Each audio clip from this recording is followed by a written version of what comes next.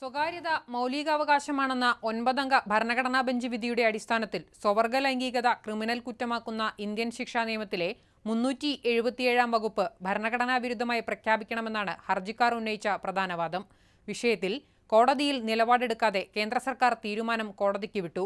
ഹർജി പരിഗണിക്കവേ സ്വവർഗാനുരാഗം നിയമവിധേയമാക്കുന്നതിനെ അനുകൂലിച്ച് നിരവധി പരാമർശങ്ങൾ ബെഞ്ചിൽ നിന്നുമുണ്ടായി.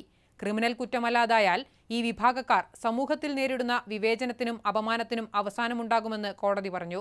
അതേസമയം മുന്നൂറ്റി എഴുപത്തിയേഴാം വകുപ്പിന്റെ മുഴുവൻ വശങ്ങളും പരിശോധിക്കുമെന്നും കോടതി വ്യക്തമാക്കി. നാസ് ഫൗണ്ടേഷൻ നൽകിയ ഹർജിയിൽ രണ്ടായിരത്തി ഒൻപതിൽ ഡൽഹി ഹൈക്കോടതി പരസ്പര സമ്മതത്തോടെയുള്ള സ്വർഗലൈംഗികത നിയമവിധേയമാക്കിയിരുന്നു.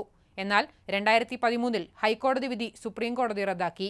മുന്നൂറ്റി എഴുപത്തിയേഴാം വകുപ്പിന്റെ ഭരണഘടനാ സാധുത മാത്രമാണ് പരിശോധിക്കുകയെന്ന് വാദം കേൾക്കുന്നതിനിടെ കോടതി പറഞ്ഞിരുന്നു.